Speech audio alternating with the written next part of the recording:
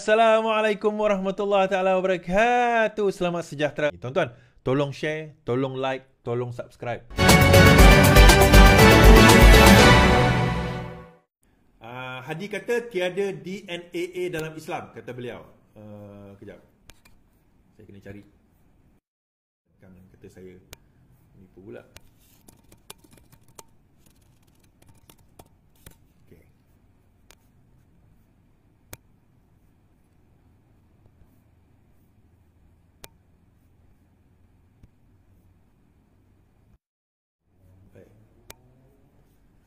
Hadi tiada DNA. Presiden Hadi Hadi awal pas Hadi awal berkata tiada keputusan dilepas tanpa dibebaskan dalam sistem kehakiman Islam. Kenyataan itu dibuat ketika pelbagai pihak mempertikaikan keputusan AGC memohon menghentikan kes rasuah terhadap Zahid.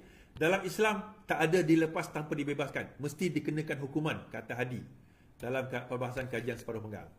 Bagi mendukung hujahnya, dia memetik kisah Sultan Muhammad Al-Fatih yang dihukum bersalah oleh hakim kerana memotong tangan seorang arkitek kerana menggunakan pelan masjid yang salah. Perkara itu menunjukkan tiada, tiada DNA dalam kehakiman. Okey. So benda ini dipatahkan oleh Menteri Agama.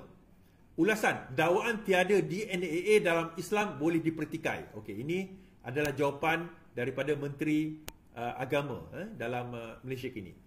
Jabatan Perdana Menteri Hal Agama merujuk kepada isu discharge not amounting to acquittal yang dibangkitkan oleh setengah pihak yang mengatakan ia tiada dalam Islam.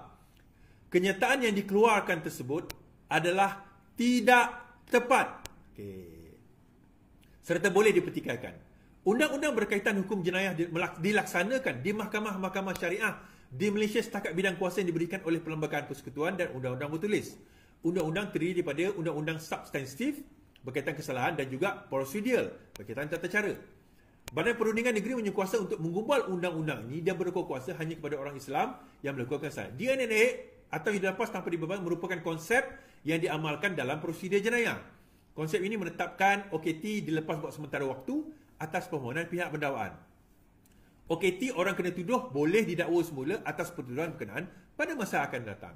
Dalam konteks syariah, ha, dia kata tak ada dalam Islam tadi kan?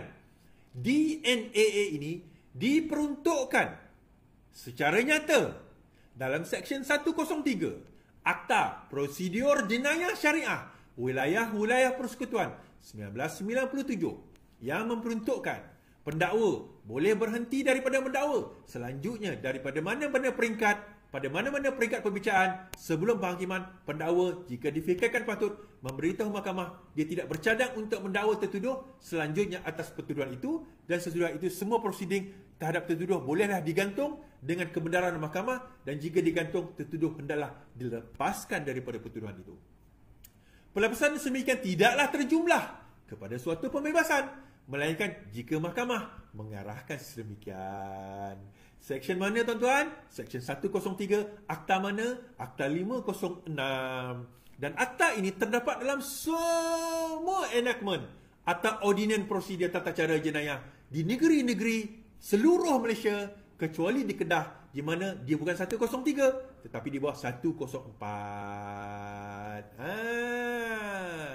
So Hadi kata tak ada, tak ada dia kata. Mana ada dalam Islam?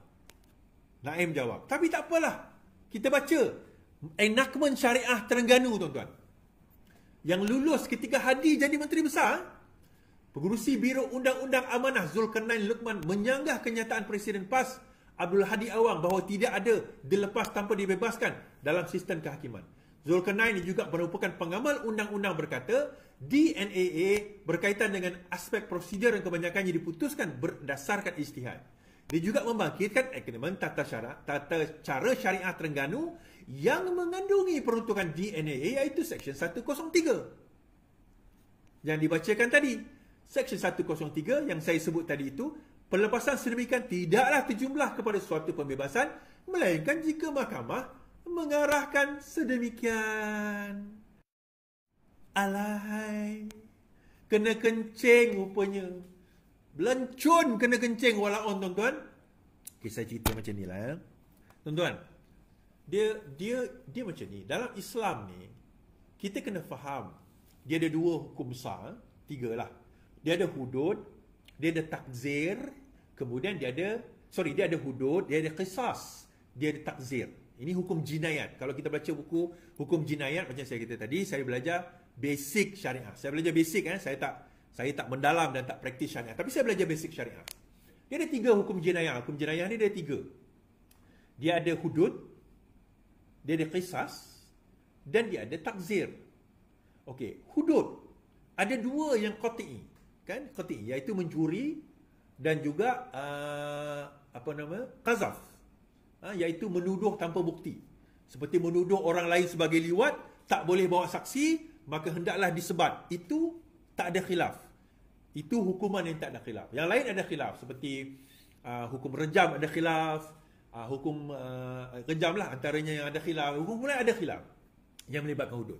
Now, dalam hudud itu sendiri ada beberapa, dia tak banyak. Dia ada mencuri, berzina, uh, apa kata uh, kazaf kazaf uh, tak uh, yalah uh, menuduh orang suci tadi ini ini adalah hukum yang ada dalam hudud tak banyak ada beberapa satu lagi kisah kisah ni bunuh balas okey itu satu selain daripada ini ada satu undang-undang di dalam Islam dinamakan hukum takzir. Takzir ini apa dia tuan-tuan? Apa saja hukuman yang tidak tertakluk di bawah kisah dan juga di bawah uh, hudud tadi. So apa saja apa saja. Anything. Traffic light nak saman ke tak saman uh, budak-budak RXZ bawa motor standard ke motor modified nak saman ke tidak. Itu semua di bawah takzir. Boleh ke? Boleh. Adakah itu mengikut acuan dan cara Islam? Ya tak ada salah. Takzir. Takzir itu cara Islam lah. Okey? So DNAA ni bawah mana? DNAA ni bawah takzir. Takzir ni arti kata terpulang kepada budi bicara. Uh, apa orang kata kehakiman ataupun kerajaan negeri itu tak menentukan apa saja.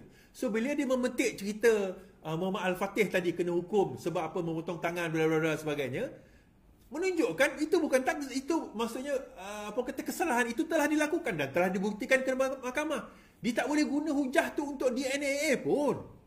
Salah ke laut tu Hadi. Haji Hadi ke laut hujah tu. Saya tak faham lah. Dia ni Benda tu benda basic. Dalam Islam benda tu benda basic. Takkan benda tu pun tak tahu. Saya tak faham. Kan? Saya tak faham. Kat mana yang dia tak faham takzir tu kat mana? Benda tu benda yang paling asas. Tak tuan-tuan? Yalah kita boleh gelak lah. Kita kata ala is. Benda tu benda kecil je is. Yalah tuan-tuan. Saya ni mungkin kita faham.